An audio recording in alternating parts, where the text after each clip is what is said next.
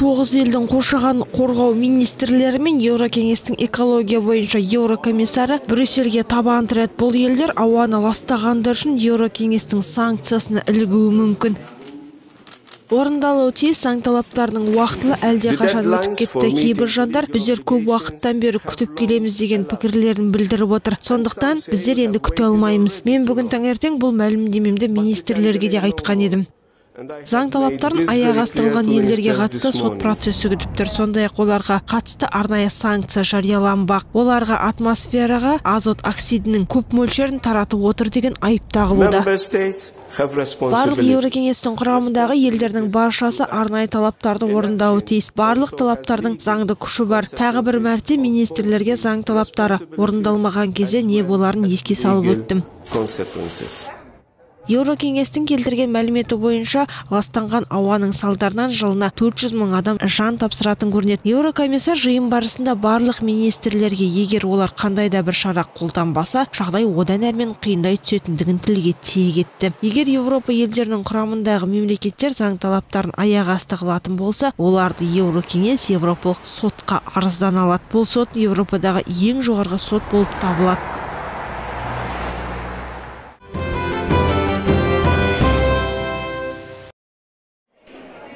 Қаңтар айынан бастап бразилияға қарасты үш штатта сары безгек ауруының таралуы жаңа қарқынмен басталды. Дүниежүзілік денсаулық сақтау ұйымының өкілдері бразилияға бармақ ойдағы туристерге аталмыш кеселге қарсы екпені алуға кеңес беруде. Алайда чилилік меймандар біраз қиындықтарға тап болыпты. Мәселен сантьягода жұқпалы кеселмен күресетін арнайы вакцина жоқ. Мен тіпті студент кезімде көшеде қонған емеспін. Еңбек демалысымда палаткада тұрған едім. Алайда бұл жағдай менің көңіліме қонбай тұр. Бұл азаматтық тақыр жерде ұйықтау бұл сұмдық ал таңертең өте суық. Міне біздер бұл жерге қайта келіп тұрмыз. Алайда күткеннен пайда жоқ олар жауап бермей жатыр.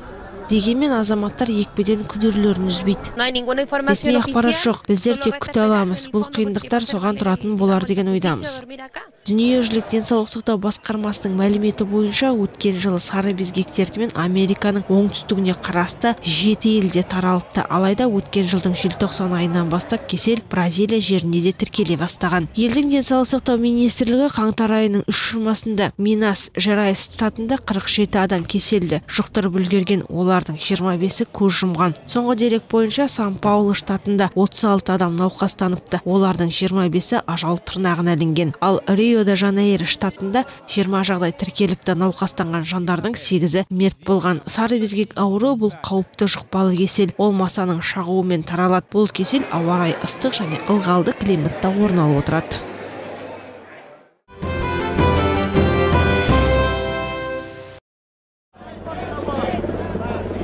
Өткен сейсенбі күні каталония парламентінің алдында тәуелсіздіктің жақтастары жиналды. Олар орын алған жағдайға қатысты қарсылықтарын білдіріп отыр. Сондай ақ олар өңірдің жаңа басшысының сайлауын кейінге шегеруді талап етуде. Олар қайтадан карлес пучдемонды сайлағылары келеді. Ол бельгияда бой тасалап жүр. Бізде 22 қаңтар күні елдің президенттігіне карлес пунжиман немесе кажамажонды сайлауға ұсындық. бұл шешім жайдан орын алған жоқ. Бұл менің жеке пікірім емес. Бұл осы парламенттің басым көпшілігінің шешімі болды. Мен өзге кандидатты ұсынбау туралы күш жұмсайтын боламын. Алғашында пучдемонды бейнехабарлама арқылы сайлағылары келген. Алайда испандық конституциялық сот егер саясаткер бельгия жерінде бой тасалап жүрсе ол президенттікке үміткер бола алмайды деген үкім кесті. Испанияда оны тұтқындауға рұқсат қағаз берілген. Оны каталонияның тәуелсіздігі туралы референдумды заңсыз ұйымдастыр деп айыптап отыр. Бұл саяси қадамды испандық сот заңсыз деп таныған еді. Сейсенбі күні қашқан саясаткер әлеуметтік желі арқылы өзінің бейне үндеуін жариялады. Тәуелсіздікті қолдаған парламенттің мүшелері мені елдің президенті ретінде жариялауға дайын еді. Олар демократияның кепілі. Өзге үміткерлермен басқа шешім болмады. Өкінішке орай жиын болмады. Парламенттің спикері өзге жолды таңдады. Оның шешіміне құлақ асуымыз керек. Бұған қатысты барселона тұрғындарының ойы екіге жарылды ең ақылды ең ұтымды шешім ол парламент спикерінің пучдемонды президент ретінде тағайындау еді. Бұл шешімді парламенттің басым көпшілігі қолдап отыр. Сондай ақ сайлаудың соңғы нәтижесі каталондықтардың нені армандап нені қалайтындықтарын анықтап берді. Біздер елдің парламент спикеріне сенім артамыз маған бұл шешім ұнайды ма деген сауалға келетін болсам жоқ. Алайда ол өте ақылды адам. Егер ол осындай шешім қабылдаса демек бұл жағдай осылай орын алу керек. Мен тәуелсіздікті қолдамаймын. Барселона испанияның бір бөлшегі. Мен венесуэлдамын. Венесуэладағы жағдай бәріне аян. Мен екі елді де салыстыра аламын. Адамдарды бөлу бұл жақсылыққа апарып соқпайды. Сейсенбі күні шаһардың өзге аймақтарында да наразылық шаралары ұйымдастырылды. Алайда бұл шараға тәуелсіздіктің жақтастары мен каталонияның испаниядан ажырамауын қалайтын азаматтар да көшеге шықты.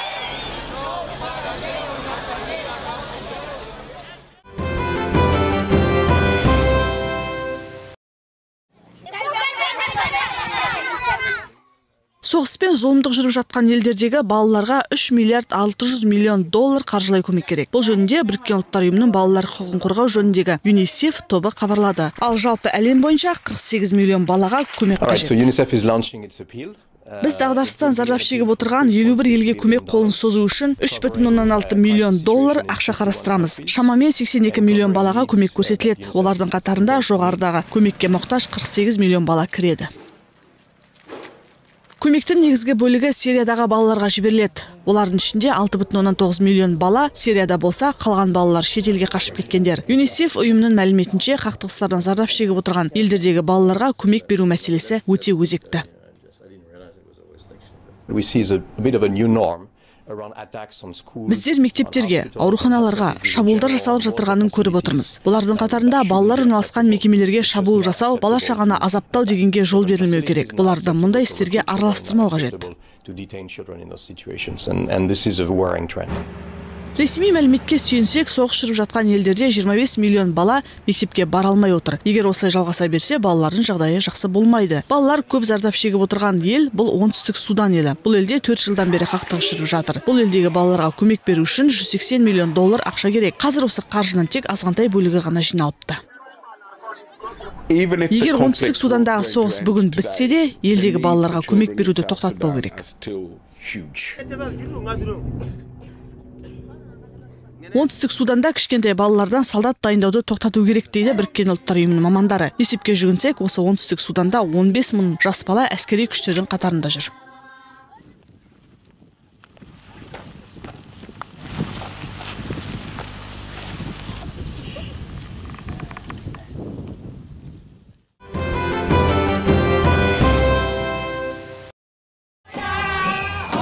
Париждің қариялар үйінде медбике болып қызмет жасайтын несере будриш наразылық шарасына қатысып отыр. Оның жүздеген әріптесі францияның денсаулық сақтау министрлігінің ғимаратының алдына жиналыпты. Елдің аумағындағы қариялар үйінің қызметкерлері арнайы наразылық шарасын ұйымдастырып отыр. Олар қосымша жұмыс орны мен қаржыландыруды көбейтуді талап етуде.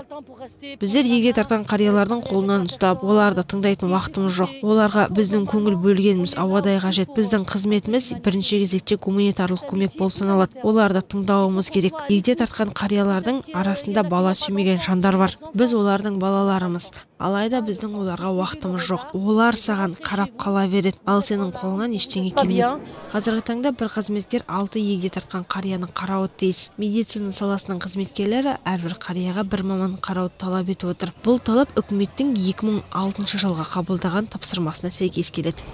Өзіме үнемі ол менің атам әжем әкем немесе анам болуы мүмкін дегенді жиі айтып отырамын. Алайда кейін оларды дұрыс бағып қағу жуындырып тамағын беруге уақытымның жетпейтіндігін білесің. Ал бұл қызметкерлер үшін үлкен мәселе болып табылады. Біздер қызметкерлердің санын көбейтуді сұраймыз. Сонда ғана біздер қарияларға жақсы қарай алатын мүмкіндікке ие боламыз. Наразылық шарасына қатысып жатқан жандардың бірқатарын министрлік өкілдері қабылдады. Министр парламент алдында бұл мәселені шешуге уәде берді. Бүгін денсаулық сақтау министрлігіне келе сала мен егде тартқан жандарға арналған үйлерде қызмет етіп жатқан азаматтарға қандай қиын екенін білдім. Біздер 2018 жылғы бюджетте қызметкерлердің шоқ жұтығын түгендеу мақсатында бөлінетін қаржыны көбейтеміз. Қазіргі таңда француздық қариялар үйінің барлығы лықтылы олардың қабырғасында 750 мың адам өмір сүріп жатыр. Оларға арналған бюджет 10 жылдың ішінде екі есеге өскен. Қазіргі таңда қариялар үйіне деп бөлінетін қаражаттың мөлшері 10 миллион евроны құрап отыр. Алайда жыл санап егде тартқан жандардың саны едәуір өсіп келеді.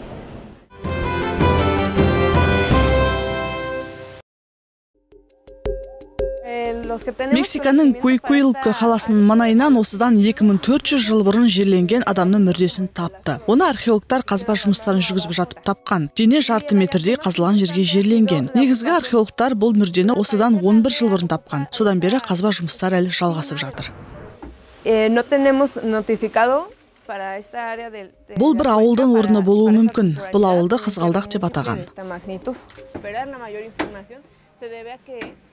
Ғалымдар қазірдің өзінде он адамның қаңқасын тапты. Оның біреуі ер адамдікі болса екіншісі жас келіншектің сүйегі екендігі анықталған. Және қазба жұмыстары жүріп жатқан жерден балалардың сүйектерінің қалдықтары табылып жатқан көрінеді. Баланың біреуінің жасы шамамен бестерде делінсе екіншісі бес айлық болып қалады дейді ғалымдар. Ал қалған сүйектер туралы ақпараттар анықталған жоқ. Қазба жұмыстарын жүргізген ғалымдар қайтыс болған адамдар белгілі бір дәстүрді орындау кезінде қаза болғанға ұқсайды дейді. Себебі адамдар қолдарына тұрмыста қолданған заттарын ұстап жатқан. Бұл қазба жұмыстары мексикадағы алғашқы адамдарды қай кезде пайда болғанын анықтауға мүмкіндік береді дейді ғалымдар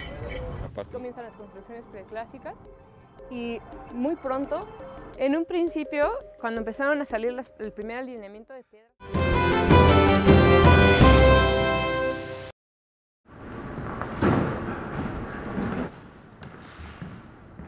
Ливерпульда халықаралық музейдің қызметкерлері ежелгі естеліктерге апаратын экспонаттарды дайындап жатыр. Олар қытайдың алғашқы императоры болған цин шихуандиге арналған көрмеге дайындалғалы тұр.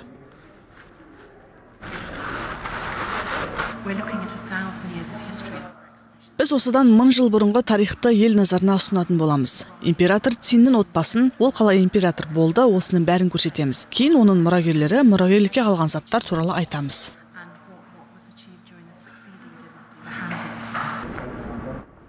Күйдірілген кірпіш жауынгерлер қытайдың мәдениетінің ерекше үлгісі болып саналады. Біз екі мың жауынгердің мүсінін таптық және сегіз мыңдай жылқының мүрдесі табылды. Алғашқы императорға арналған көрме ливерпульда 9 ақпан мен 29 қазан айында өтеді.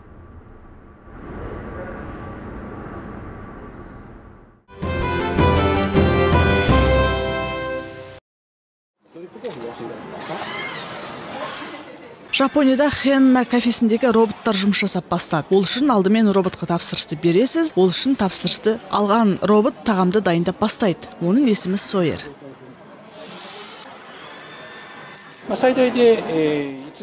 Робот кофені кофе қайнататын машинаның көмегімен дайындайды. Ол бірден бес кесе кофені дайындауға мүмкіндік бар.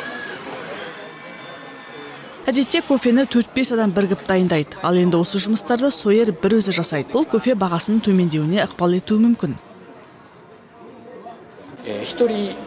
Біз кофені тез дайындаймыз. Әрі дәмді етіп дайындауға мүмкіндік алдық. Бұл бізге жұмыс сапасын арттыруға әрі адам тартуға себеп болды. Жапония тез қартайып келе жатқан мемлекет. Бұл елде адам күші өте аз. Тіпті жетіспейді деуге де болады. Сондықтан олар бұл қиындықты осындай роботтардың көмегімен шешеді. Тіпті қонақ үйлерде де роботтар адам қарсылаумен айналысатын жерлер кездеседі. Қазір жапонияда мұндай үш қонақ үй бар. Оларда адамдардың орнына роботтар қызмет көрсетіп жүр.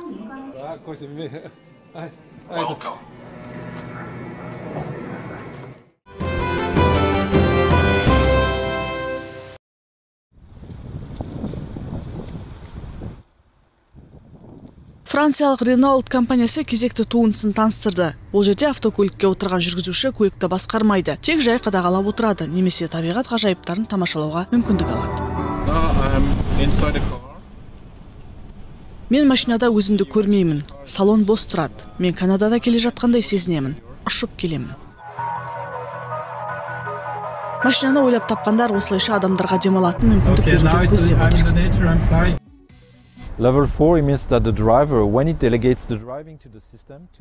Машинаның төртінші басқару деңгейі деген сөз жүргізуші қолын рөлден алып аяғын да еркін қойып тек демалып отырады дегенді білдіреді.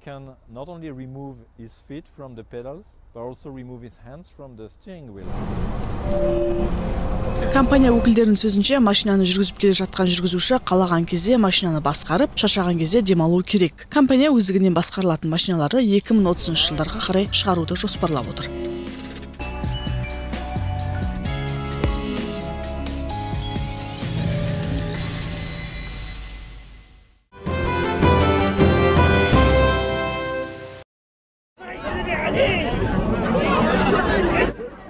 Султан Кесен мен Джоти Амджи әлемдегі ең ерекше жұп саналады. Себебі олардың біреуі өте ұзын болса, екіншісі өте кішкентай адам. Султан Кесеннің бойы 251 сантиметр болса, Джотидің бойы 62 сантиметр. Олар Гизе пирамидасында болды. Оларды арнайы министрдің өзі туристерді тарту мақсатында шақырған. Олар бұл елге алғаш рет келіп тұрғандарын айтты мен өмірде көп елдерде болдым бірнеше мемлекетті араладым бірақ египетте болмаппын. Оны тек интернет арқылы білемін. Мен қатты қуаныштымын. Пирамидаларды көзіммен көріп таңғалып тұрмын.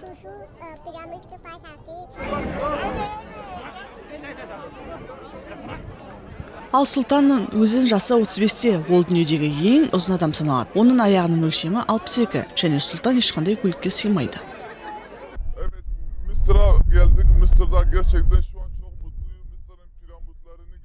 Мен Ніл өзенін көрдім, Египетті көрдім. Египет өте қызық жер екен.